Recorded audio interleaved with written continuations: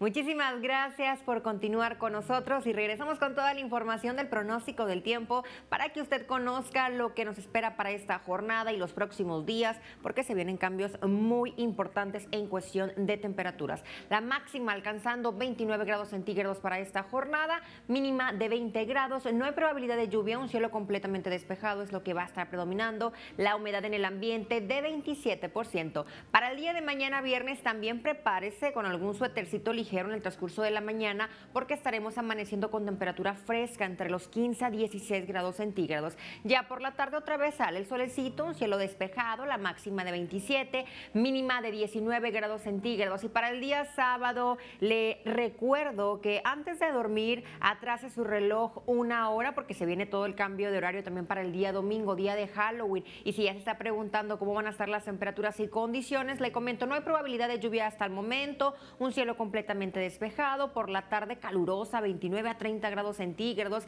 Ya en el transcurso de la noche nuevamente habrá un ligero descenso en la temperatura hasta llegar a los 20 a 21 grados Celsius. Para la próxima semana también le adelanto, el día lunes un cielo parcialmente nublado empieza poco a poco a incrementar la probabilidad de precipitación. La temperatura por la tarde de 28, mínima de 22 grados centígrados y para el día martes estas mismas condiciones. La temperatura por la tarde alcanzando 27 grados y la mínima en el transcurso de la noche entre los 20 a los 21 grados centígrados. En información nacional le comento lo más relevante que está sucediendo. Ya el sistema frontal número 6 de la temporada va a estar desplazándose por toda la península de Yucatán. Es por eso mismo que para Cancún, Mérida y también para Tuxtla Gutiérrez tenemos pronóstico de lluvia y muy elevado con rachas de viento superando los 80 kilómetros por hora. Las temperaturas por la tarde de 32 a 33 grados centígrados. Pero la masa de aire que venía impulsando este sistema frontal es lo que está trayendo el descenso en las temperaturas para todo el norte, el noreste, el noroeste, el centro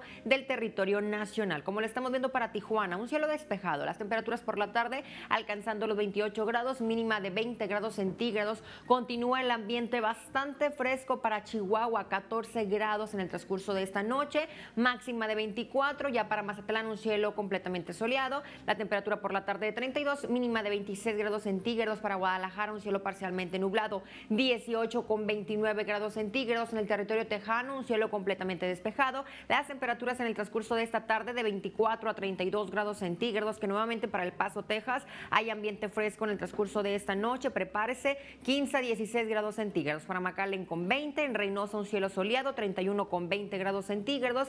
Y para el municipio de Celaya, ambiente fresco nuevamente en las mañanas y también por las noches, entre 17 a 18 grados y la máxima alcanzando 27 grados centígrados. Hasta aquí el reporte del pronóstico del tiempo. Yo lo veo el día de mañana. Que siga teniendo usted un excelente jueves.